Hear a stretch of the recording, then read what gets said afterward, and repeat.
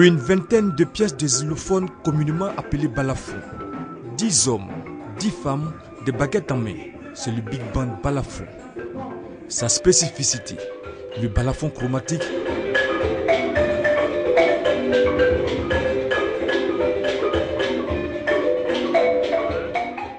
Le balafon chromatique est une trouvaille de l'auteur-compositeur camerounais Babanga Niek, le fondateur du Big Band Balafon.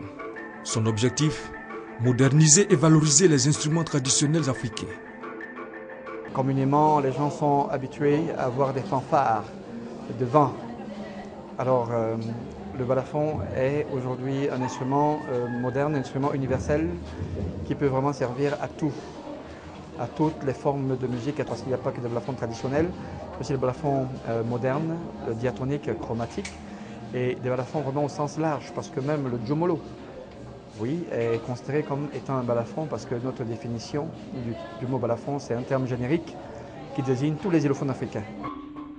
Le balafon chromatique permet de jouer toute l'étendue des notes occidentales comme le piano.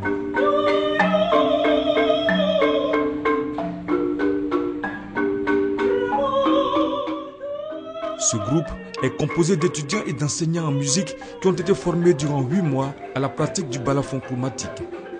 Les initiés ont reçu leur diplôme et leur kit pédagogique.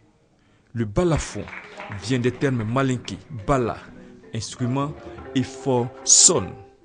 Il est originaire du royaume Soso